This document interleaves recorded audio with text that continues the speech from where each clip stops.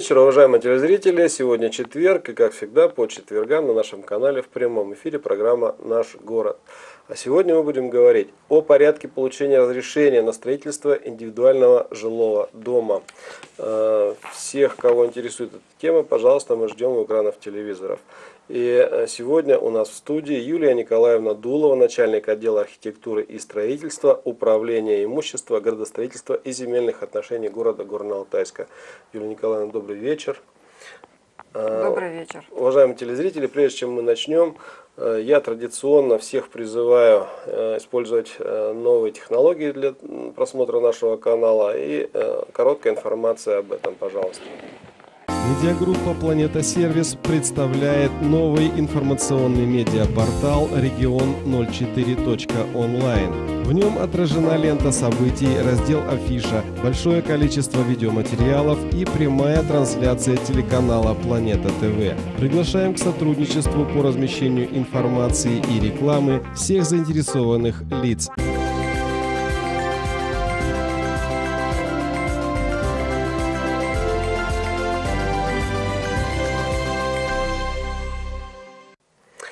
Итак, уважаемые телезрители, еще раз повторяю, говорить мы сегодня будем о порядке получения разрешения на строительство индивидуального жилого дома. Юлия Николаевна, пожалуйста, вам слово. Что наши потенциальные застройщики должны об этом знать? Еще раз добрый вечер, э, граждане города Горно-Алтайска. Хочу сказать, что город Горно-Алтайск хоть и небольшой, у нас всего 62 тысячи жителей – но город сейчас активно развивается и особенно растет э, доля усадебной жилой застройки. За последние три месяца в администрацию города поступило 72 заявления на разрешение на строительство индивидуального жилого дома. Э, любая строительная деятельность на территории Российской Федерации, она регулируется нашим законодательством. И конкретно это градостроительный кодекс Российской Федерации – вот, независимо от того, что мы строим административное здание или э, жилой дом частный, в любом случае э, градостроительный кодекс нам дает свои э, рекомендации. Сегодня мы поговорим о строительстве индивидуального жилого дома. Вот получение, порядок получения разрешения на строительство индивидуального дома – определен э, частью 9 статьи 51 Градостроительного кодекса Российской Федерации. И разрешение на строительство выдается органам местного самоуправления. У нас орган местного самоуправления – это администрация муниципального образования город Горно-Алтайск. Хотелось бы э, разъяснить, какие действия нам необходимо выполнить, чтобы получить документы на разрешение на строительство и самое первое, что нам нужно сделать, это подготовиться к получению разрешения на строительство. Для этого нужно э, получить так называемый градостроительный план земельного участка. Ну, его можно коротко называть ГПЗУ. Готовится он администрацией города, э, отделом архитектуры и градостроительства, муниципального управления, управления имущества – градостроительства и земельных отношений города Горно-Алтайска. Готовится он э, достаточно долго, в течение 30 календарных дней, поэтому э, нужно обращаться к нему э, за ГПЗУ немного так заранее, а не в день, когда вы хотите начать строить. А, ГПЗУ – это такой документ, в котором а, сотрудники отдела показывают э, те, на земельном участке те места, э, в которых можно что-то построить. Вот. После того, как вы получили ГПЗУ, э, вы как застройщики, ну, граждане города, как застройщики, должны продумать, что вы все-таки хотите построить на своем участке. Чтобы соблюсти вот э, все нормы, которые действуют на территории России, э, соблюсти противопожарные нормы безопасного строительства, чтобы соседи ваши не пострадали от вашего строительства.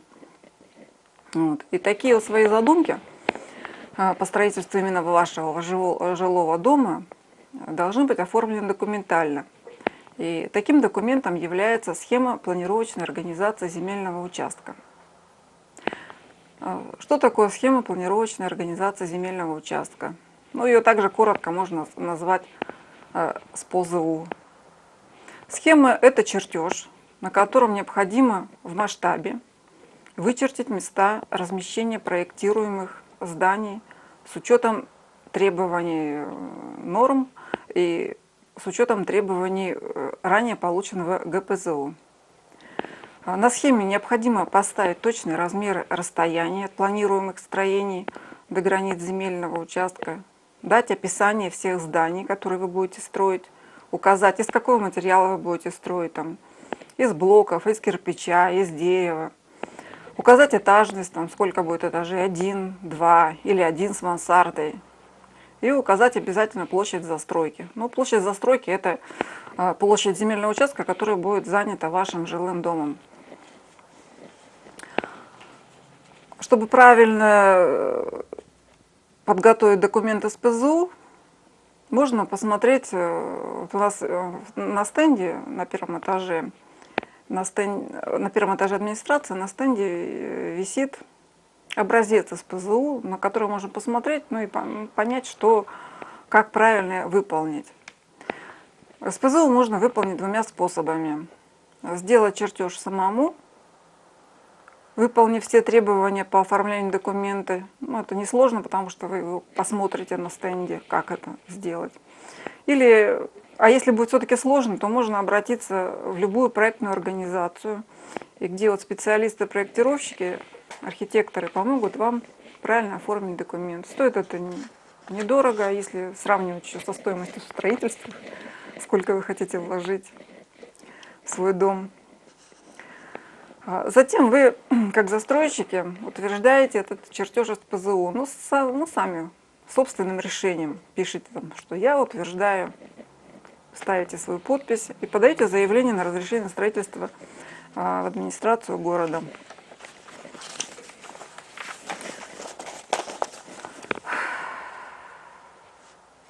Заявление на строительство и на, на ГПЗУ можно подать э, у нас тремя э, способами. Самый удобный способ подачи, на мой взгляд, это подавать э, заявление через портал государственных услуг Российской Федерации. У нас сейчас век интернета. Да, это так.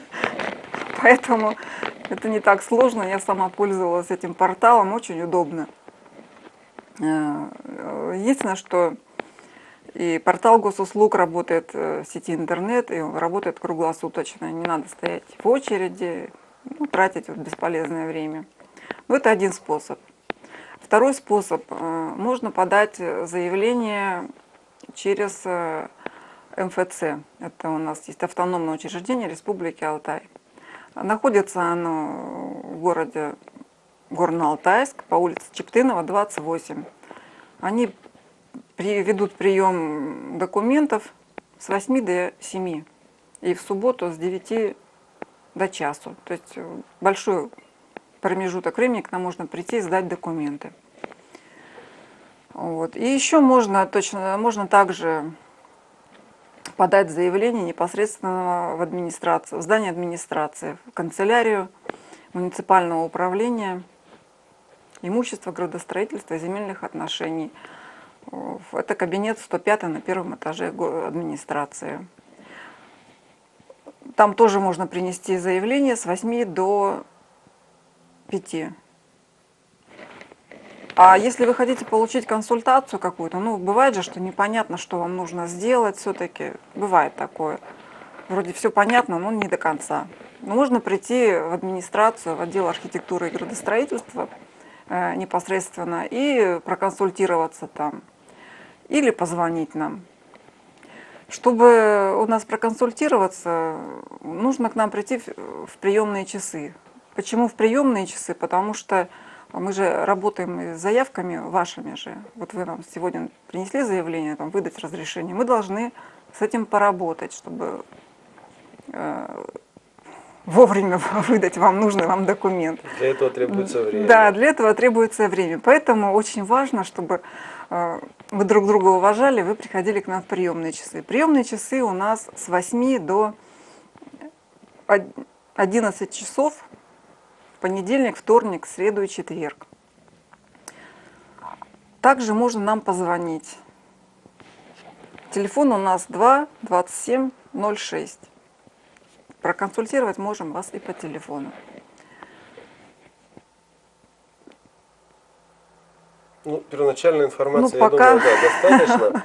А, Уважаемые телезрители, напоминаю, мы работаем в прямом эфире. Телефон студии, как всегда, 211-00. Вы его видите на экранах своих телевизоров. Мы сейчас приступаем к ответам на те вопросы, которые к нам уже поступили. Хочу сразу, э, знаете, такую ремарочку сделать. Э, Были вопросы, которые связаны вот не совсем с темой нашей заявленной сегодняшней программы, а именно э, спрашивали люди о возможностях использования материнского капитала и так далее. Э, Ну, как вы уже поняли, вот из э, вступительного слова э, Юлии Николаевны, что говорить мы сегодня будем не об этом, не о финансовой, не о материальной стороне э, строительства, и не о возможности использования э, для таких целей материнского капитала. А мы сегодня говорим именно о порядке оформления документов э, о получении разрешения на строительство. Э, Итак, э, вопрос первый. Звонил Виталий и спрашивает, нужен ли проект на жилой дом для получения разрешения на строительство. Ну, наше законодательство не требует, чтобы вы, как застройщик, предоставляли в администрацию архитектурный проект на жилой дом. Требуется всего лишь часть от проектной работы, это вот э, то, о чем я рассказывала, это схема планировочной организации земельного участка. Это тоже проект, минима- маленький, но проект. Этот проект требуется. А архитектурный проект на ваш дом как бы вы его все равно будете делать, вы же не будете строить непонятно что. Вы в любом случае для себя его выполните. Другое дело, что вы это можете сделать сами, не привлекая проектную организацию. Ну вот так. Но главное, чтобы э, законченное строение, оно как раз соответствовало требованиям размещения на участке, Да, не все, нарушало как раз вот, верно. э, те требования, о которых мы э, Верно. сегодня говорили. Следующий вопрос. Леонид Александрович, автор вопроса, спрашивает вот о чем. С принятием закона о дачной амнистии я могу оформить свой жилой дом в упрощенном порядке, не предъявляя при этом разрешения на строительство и избежав процедуры его получения. Э, Так проконсультировал меня юрист. Соответствует ли это действительности в нашем городе? Ну, не до конца верно вас проконсультировали. Федеральный закон 93 ФЗ, он внес изменения только в статью 8 Градкодекса, э, согласно которому до 1 марта 2018 года э, не требуется получение разрешения на ввод в эксплуатацию объекта жилищного, индивидуального жилищного строительства. Обращаю внимание на ввод в эксплуатацию, а разрешение на строительство никто не Оно отменял. требуется. Оно все равно требуется. Э, Большой вопрос, автор его Михаил. Э, У меня в аренде под э, индивидуальное жилищное строительство находятся два граничащих участка. Э, На первый уже получен договор аренды, а второй в процессе оформления. Э, В дальнейшем планирую их объединить и сформировать два новых с целью более удобного расположения объектов строительства, так как форма участков сейчас непригодна для запланированного строительства. Так как документы оформляются очень долго, планирую начать строительство уже сейчас. Можно ли э, его начать без разрешения на строительство или сейчас подавать на первый участок, так как договор аренды в наличии, а потом переоформлять. Но в этом случае мне придется указать неверные данные в заявлении, то есть расположение дома на схеме в границах ГПЗУ, который будет переделан после объединения участков. Какие имеются риски, как лучше поступить? Вот такой большой вопрос. Вопрос большой, ответ будет короткий, что вам все равно придется сначала оформить земельные участки, потом заказывать ГПЗУ, потом получать разрешение на строительство. Иначе просто не получится. Потому что один земельный участок, один ГПЗУ один жилой дом. Если, а если вы хотите строить без разрешения, то вы будете нарушать законодательство и будете, можете при, быть привлечены к ответственности. То есть риски все равно имеются? Риски, конечно, есть. Обязательно есть. А, с другой стороны, человек будет вынужден терять время. Ну, какое время потерять? Ну, ГПЗУ пол месяц. Разрешение на строительство дается в течение 7 дней. Один месяц. Это не так много на самом деле. Это кажется, что много. У нас еще остается июль, август, сентябрь, октябрь, еще 4 месяца. То есть лучше сейчас потратить время, может быть, на подготовку материалов, и в то же время на подготовку документов. Ну, конечно, надо себя обезопасить. Вы же строите для себя. Зачем вам проблемы? А, следующий вопрос. Ольга Дмитриевна спрашивает, можно ли строить частный дом без проекта и не возникнет ли проблем при получении разрешения на его строительство? Ну, в общем-то, как бы ответили На этот вопрос почти, мы уже отвечали, да. что без проекта на свой дом вы можете строить, но мини-проект, схему планировочной организации земельного участка предоставить нужно. Ну вот э, у нас поступают звонки как я предполагал, один из э, вопросов связан с материнским капиталом. Я его озвучу, но, как уже сказал, что мы сейчас вот в данной ситуации на такие вопросы вряд ли сможем ответить. Марина звонила и спрашивает, у меня на руках имеется сертификат на материнский капитал, а также получено разрешение на строительство и дом уже в начальной стадии строительства. Какие у меня есть варианты на получение этих средств? Ну, мы не можем Я не смогу вам ответить да. на этот ответ. Вам может дать комиссия, которая при администрации работает.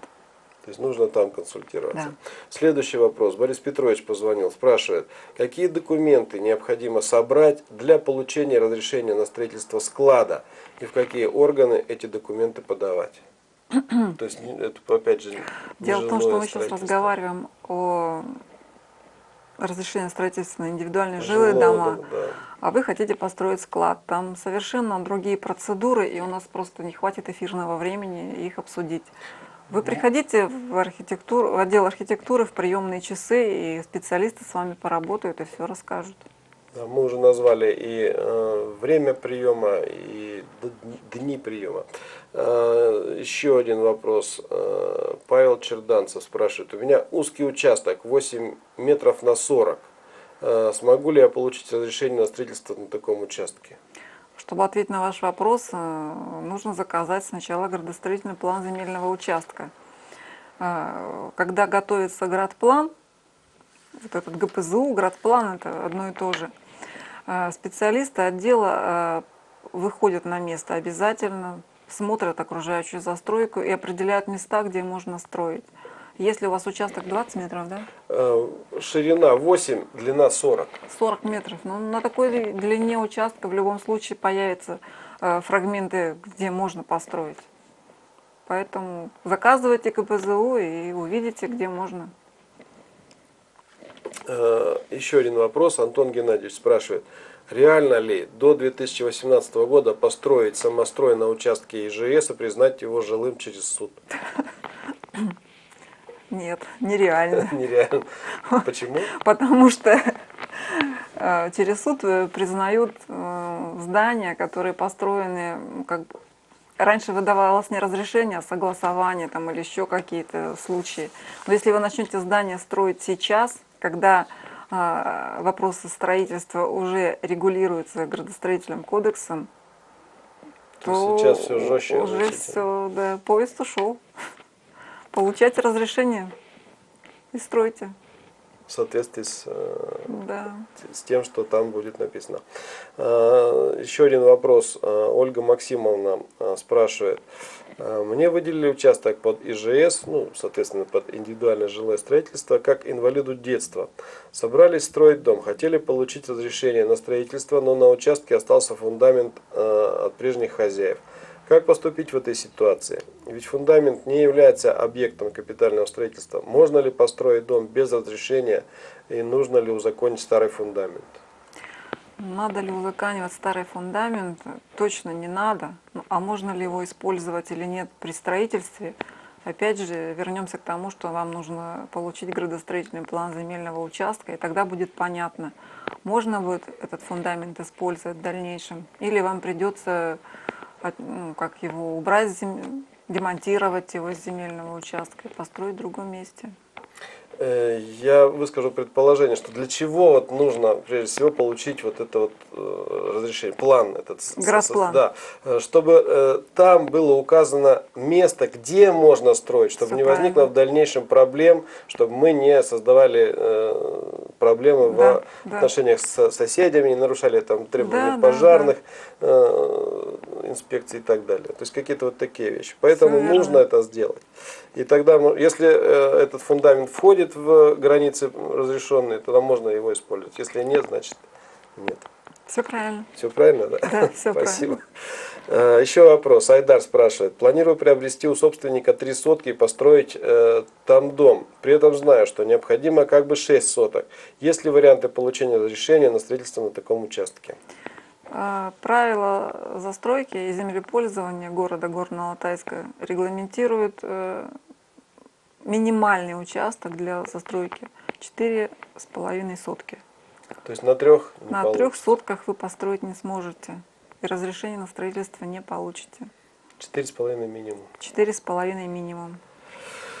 Так, э, пожалуй, последний вопрос, хотя, может быть, кто-то еще позвонит. Значит, вопрос следующий. Э, хозяин соседнего участка хочет получить разрешение на изменение этого участка с сельхозназначения на строительство СТО и автомойки. Э, я против такого строительства. Может ли мое несогласие помешать такому разрешению, куда мне обратиться? Эжер спрашивает. Но ну, опять же, вот, то есть это не ну, да, это не тема сегодня. жилищного строительства. Теме. Можем мы как-то прокомментировать? Можем прокомментировать в каком плане, что нужно посмотреть хоть какие-то документы на эти участки, даже хотя бы на ваш, чтобы понять, о чем вы просите. Опять, ну, вам придется прийти на консультацию. Давайте мы, наверное, еще раз э, назовем э, время, э, Давайте. дни приема и точный адрес. Может быть, телефон повторить. Так, телефон сейчас скажу.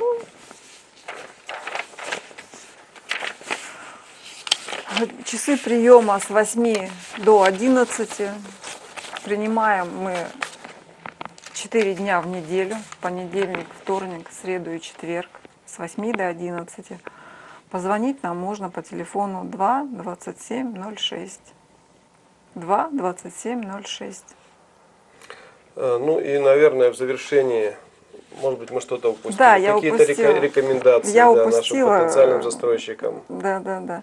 А, я упустила о том, что э, ГПЗУ и разрешение строительства выдаются бесплатно. Разрешение на строительство выдается сроком на 10 лет. Вот. Если вы не успеваете построить э, за 10 лет, то вам нужно будет просто написать заявление о продлении срока строительства немного за год, ну, скажем, за 60 дней до конца. Главное не пропустить. Да, да, да, главное не пропустить. И еще пожелание, чтобы... Вы же хотите строить, думать об этом немного заранее. Приходите за документами раньше и начинаем строить в мае. А за документами надо прийти, это получается ну, январь-февраль. Вот Мар- Март-апрель. Да. Э, ну что ж, э, уважаемые телезрители, я напоминаю, что мы сегодня говорили о порядке получения разрешения на строительство индивидуального жилого дома. Э, у нас в студии была Юлия Николаевна Дулова, начальник отдела архитектуры и градостроительства, управления имущества, градостроительства и земельных отношений города Горно-Алтайска. Юлия Николаевна, спасибо. Я надеюсь, что информация, которую мы сегодня озвучили, она будет полезна нашим потенциальным застройщикам. Еще раз всех благодарю, кто нас смотрел. Юлия Николаевна, вам спасибо. Всего доброго. Увидимся через неделю. Всего До свидания. Доброго. До свидания.